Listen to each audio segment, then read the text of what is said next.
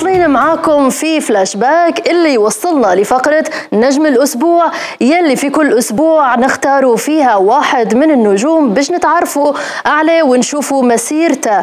الأسبوع هذا اخترنا لكم نجم تونسي. بدأ مشواره في الغناء على طريقة الريغي وطور من روحه وخش مجال التمثيل طبعا. وشفناه في مسلسل النوبة اللي دار ضجة كبيرة في موسمه الثاني. خلافا على ذلك طبعا ما ننسوش أغاني ناجحة واللي حافظها تقريبا نص أو كل شباب ليبيا والمغرب العربي أجمع.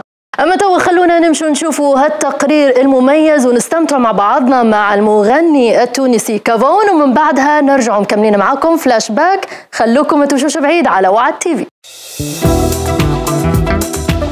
الفنان التونسي يلي خرج من حي شعبي في قلب العاصمة التونسية ودخل هلبة أحواش بالفن اللي يدير فيه.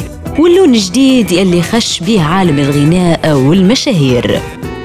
بداياتها كانت مع الرابر والممثل التونسي حمزاوي يلي اعتزل بعدين الغناء لكن كافون واصل ودار عدة أغاني عملت ضجة في الوسط الفني التونسي وحتى المغاربي زي أغنية أنت مهبولة. موقفش كافون حد الغناء ولكن خش التمثيل عن طريق أدوار يعتبرها المشاهد التونسي صغيرة. ولكن كانت مؤثرة وأهمها دوره في مسلسل النوبة للمخرج عبد الحميد بوشناق. المرض والمشكلة الصحية في رجل كافون ما خلتاش يتخلى على الفن. ودار عدة حفلات وهو مقعمز على كرسي. وهذا يلي خلى جمهوره في تونس والمغرب العربي يتعاطفوا معاه أكثر ويسانده. اليوم كافون يعتبر في ال top five من مشاهير تونس في الغناء وجمهوره يستنى منه دايما في جديد.